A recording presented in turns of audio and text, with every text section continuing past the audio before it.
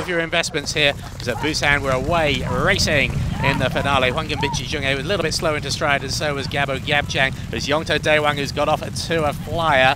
Uh, also going forward is Jongsang Jayap. Yusong Cherolom around the outside, and Blue Storm right on pace. Drop the beat uh, looking to come in. Uh, uh, the favourite Huang Jiajuang just a little bit further back there.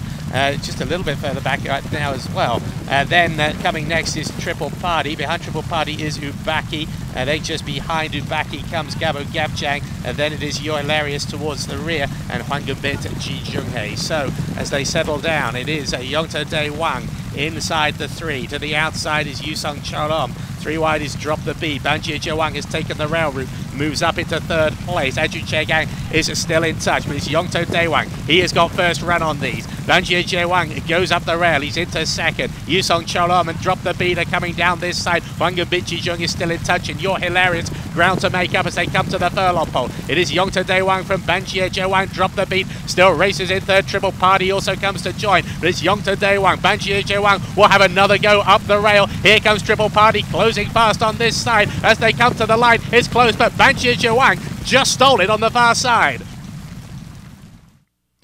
So Banjiui Jewang taking the rail route seemed to just get up. It was a very, very close finish, but he just kept coming, coming, and coming.